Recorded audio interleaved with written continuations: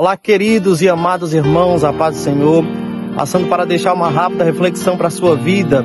Livro de Isaías 49, versículo 15 diz: Pode uma mãe esquecer-se do filho que cria, ainda que essa se esqueça, eu todavia, diz o Senhor, não me esquecerei de ti. Pode uma mãe se esquecer do filho? Pode.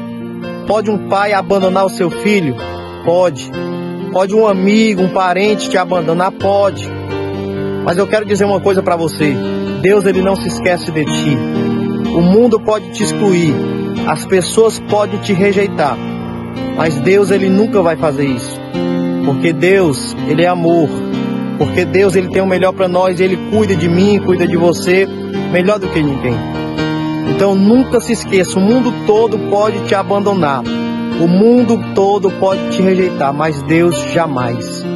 E aquilo que ele começou na tua vida, eu quero profetizar e eu quero dizer para você, ele vai terminar, ele vai concluir, porque a vontade dele é boa, perfeita e agradável. E aquilo que ele começou vai terminar. Então fique com esta palavra, que Deus vos abençoe, em nome de Jesus. Amém.